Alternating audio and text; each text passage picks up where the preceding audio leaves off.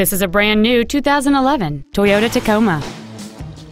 It has a 4.0-liter six-cylinder engine and a five-speed automatic transmission.